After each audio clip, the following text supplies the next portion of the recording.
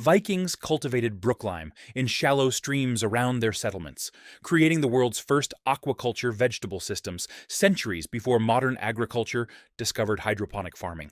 Archaeological evidence from water management systems at Viking settlements shows they deliberately channeled streams through their communities, creating perfect growing conditions for brooklime and other water loving plants. This wasn't accidental, it was sophisticated agricultural engineering. Why it's perfect for zones 1 to 3. Brooklime grows in zones 3 to 9 and thrives in cold, flowing water. It's perfect for northern gardeners with streams, ponds, or bog gardens. Modern Growing Guide when to plant. Start from cuttings in spring. Place directly in shallow water. Where to plant. Shallow streams, pond edges, or containers with 2 to 3 inches of water. Spacing. 6 to 8 inches apart in water. When to harvest. Cut succulent stems and leaves continuously through growing season. Success secret needs flowing or regularly changed water. Stagnant water causes rot. Unique benefits. This watercress relative concentrates minerals from water, providing exceptional nutrition. It's like having a natural water filter that produces food.